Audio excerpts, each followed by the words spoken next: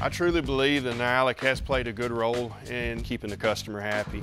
It significantly reduces the rust and corrosion that you typically see on machines, and that's less breakdowns, which means more revenue in their pocket at the end of the day.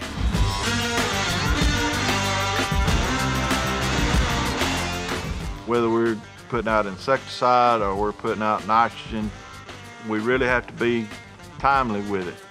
And the Nyalic is really helping us get top dollar for our trade because they know our sprayers have been taken care of.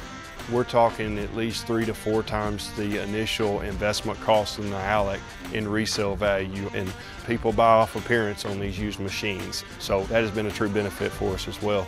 The appearance is one thing, but then you have the harnesses and hydraulic fittings and electrical connections that could rust. There are 96 connection points on that sprayer, and if one of those 96 goes down, our customer goes down. But with that Nyalic, you're getting all of those nooks and crannies where that fertilizer or that chemical starts corroding, and that has proved to help reduce that downtime. We just can't afford any downtime.